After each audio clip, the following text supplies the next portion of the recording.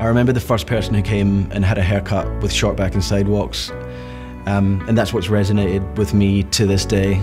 How far that person travelled to come and get a free haircut as a result of, you know, some hardships had ended up in the situation that they were in.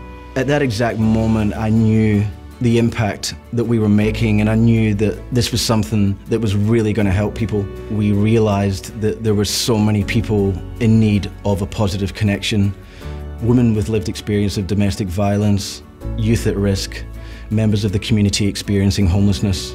As a kid, I was brought up in a loving environment, um, and I th think that's really important um, in anyone's life. I used to volunteer as well, and the people that we were helping in, in that moment, I believed that there wasn't enough connection. Um, people would come along to the place that I was volunteering and they were, their heads were, would be down and they weren't wanting to talk to anyone. And that's why I wanted to do something to change that. I always feel really relaxed when I'm having a haircut. That feeling that I have when I get a haircut is something that I wanted to give to other people. I think some of the times you actually speak to a hairdresser in ways that you wouldn't necessarily speak to others. And being in the chair is something that does instigate conversation and does instigate positive connections. And I believe that that was going to be a vehicle to do that.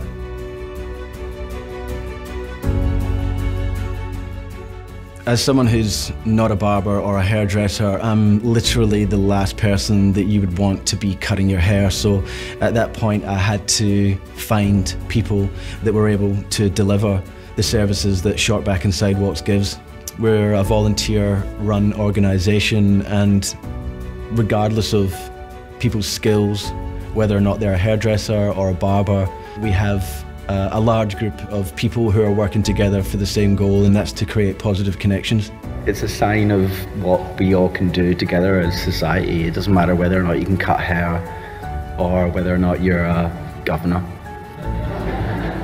or uh, or whatever. You know, like it's it's a positive connection and it's a conversation, and that's the biggest thing that we've seen for for what we've been doing is that that's all it is. It's not the haircut. It's mm. it's it's the positive connection.